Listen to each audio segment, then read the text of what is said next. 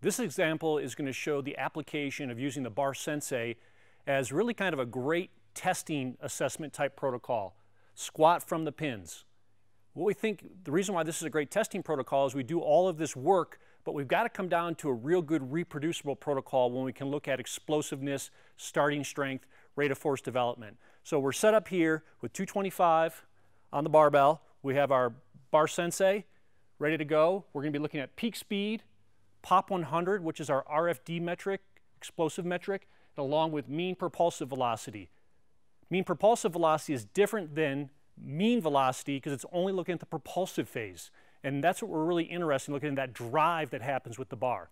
And that's why I think this is a new type of testing protocol that coaches really need to take note of. So Chase, why don't you come on in under the bar, and I'm going to go ahead and start this up.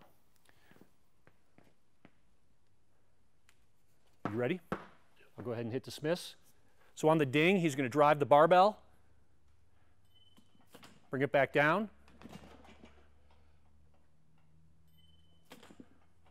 Let's do one more rep.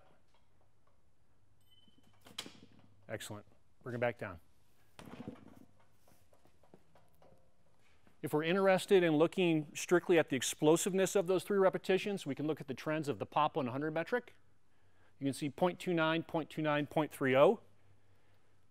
And of course, we have our, our standards like the peak speed. So there's your introduction to using the Bar Sensei, which we think is a real interesting new testing protocol, squat from the pins.